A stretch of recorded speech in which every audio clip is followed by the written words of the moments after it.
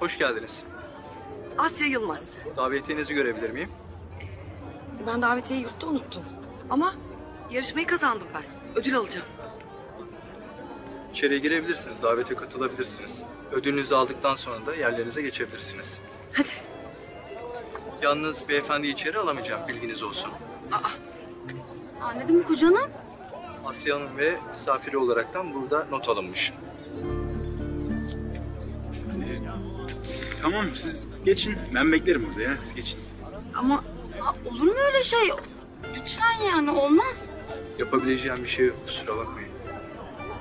Tamam. Tamam siz geçin hadi. Başlayacak şimdi kaçıracaksınız. Hadi geçin hadi. Buyurun, buyurun. Başlıyor. Derya Hanım yardımcı olur musunuz?